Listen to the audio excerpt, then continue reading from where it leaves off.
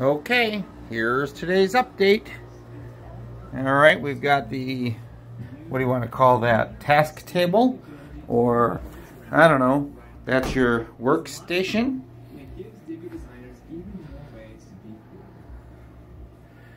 Got a little stuff behind the wall here. Got our little generation keeper closet. We are generations with memories that we have to go through. We're gonna have to like store those someplace and I'm working on that. Here we go. Hustle!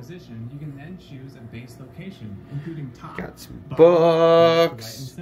We got Forever Love, His Influence, my new pop socket, Tori's microphone I'm trying to figure out, good old USA represented and hustle.